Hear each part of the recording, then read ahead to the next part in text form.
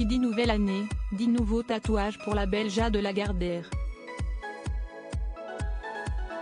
Outre sa passion pour ses trois enfants, Liva, 10 ans, Mila 8 ans et Nolan, qui fête ses 7 ans ce lundi 16 janvier, le mannequin de 32 ans en cultive une autre pour l'art du tatouage. Ce n'est pas pour rien que plusieurs parties de son corps sont recouvertes de dessins.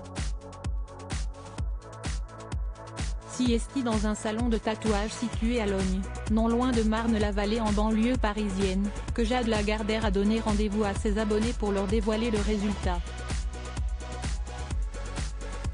Pour cette petite nouveauté corporelle, Jade Lagardère a choisi une longue phrase descendant tout le long de sa colonne vertébrale, If you can't handle me at my worst, you don't deserve me at my best. Si tu ne me supportes pas dans mes pires moments, tu ne me mérites pas dans les meilleurs en français, peut-on lire? Pour l'occasion, Jade Lagardère n'était pas venue seule,